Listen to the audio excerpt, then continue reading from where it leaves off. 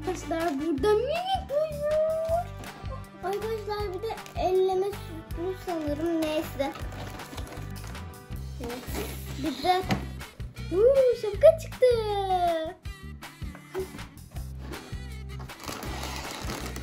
Bir tane de böyle orta boy çıktı arkadaşlar. Arkadaşlar yalnız bunun arkasında yazıyor.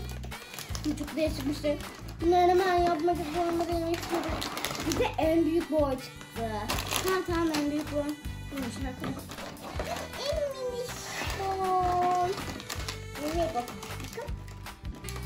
Aa, bence en minik boy budur. Arkadaşlar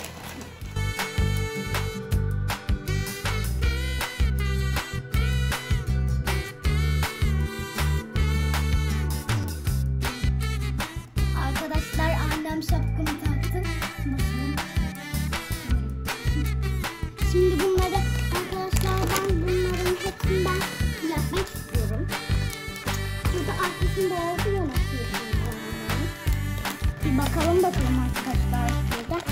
Siz biliyorsanız e, yorumlara yazabilirsiniz arkadaşlar. Şimdi ben hiç anlamadım ama şimdi gösteriyorum bakın. Arkadaşlar sütüm geldi, kaşım geldi, kasem geldi. Sizin için bunları hemencik yapacağım. Şurada açılma önemli yani. Şey. Arkadaşlar ben bunu görmüştüm ve de sanırım. Bir de böyle var. Böyle şöyle içinde şöyle.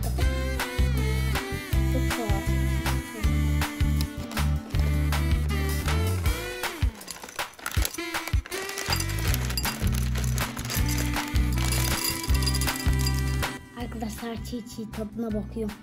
Şundan, şunu, vallahi ben şunu bakarım. Sonra şunu bakacağım. Yemeğin önce şunu bakacağım. Bunu merak.